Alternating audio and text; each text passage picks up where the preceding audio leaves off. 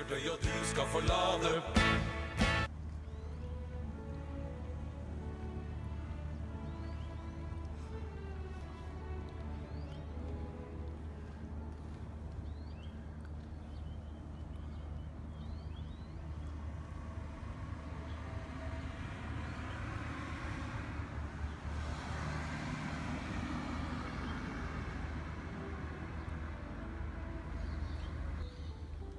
Ja, det ville vel være feil å si at det ikke blir en varm dag i dag òg.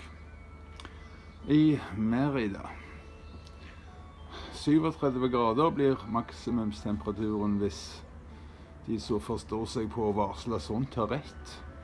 Det har de nå ikke alltid, da, men eh, de pleier å være inne på det.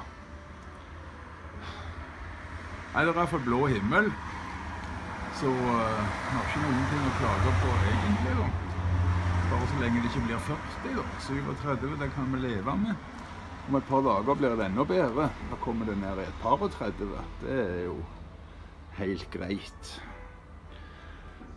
Ja, vi skal vel se på langtidsvarselet sånn som vanlig. Tar vi to forskjellige langtidsvarsler, kanskje skal vi prøve det.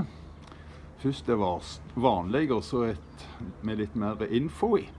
Og så eh, ja, kommer jo da som vanlig eh, været i Stavanger helt til slutt. Dere får ha en riktig, riktig god mandag. Håper at det snart blir litt sommervær i Norge òg. For det er det ikke nå.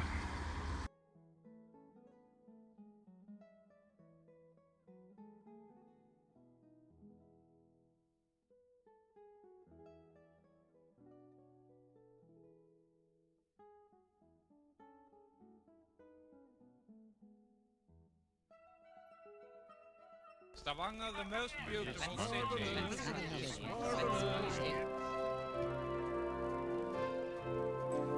Wow, det så jo ikke verst ut. Sol i Stavanger. Men kan det vare? Svaret er nei, det kan ikke det. Det er ikke lenge til det kommer regn igjen. Og regnet det skal dominere så å si alle dagene på hele langtidsvarselet òg, så dessverre. Men det var i hvert fall et fint bilde.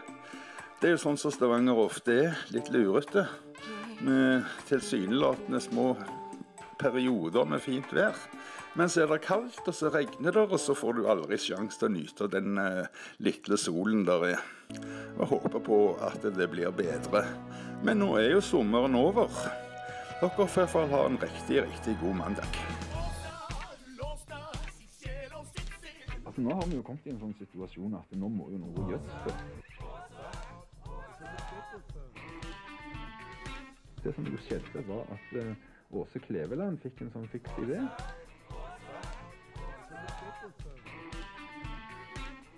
Sa at nå skal det kun være én lokal-TV i hver region. Det er hetenskap.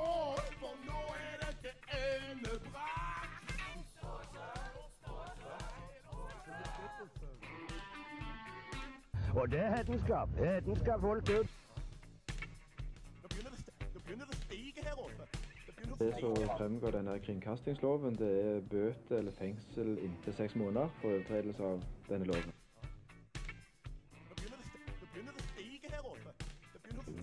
Da var det sånn de jobba under krigen òg, for å finne disse her eh, sabotørene. Hedenskap fullt ut.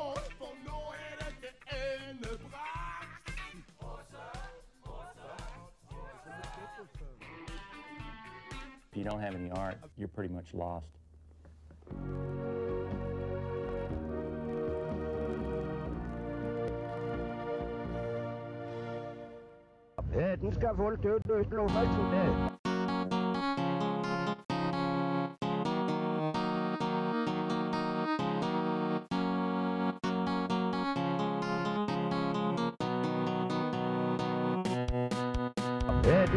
Ut. I discovered Islam here in Sweden. In Somalia, you're not, you're just a Muslim. You're just born into Muslim country without knowing the Quran. But when you come to Sweden, then you go to mosque. And there is a Quran, so you have to cover yourself, you have to be a good Muslim.